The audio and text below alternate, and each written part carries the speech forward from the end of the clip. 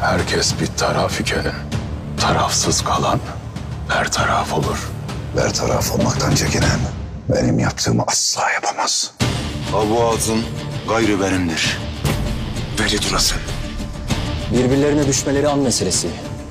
Bir daha bana kafa tutarsan ezerim seni. Türkler birbirlerinin kanlarını akıtırken biz Roma'nın topraklarını onlardan geri alacağız. Hazine haritası hala medreseldedir.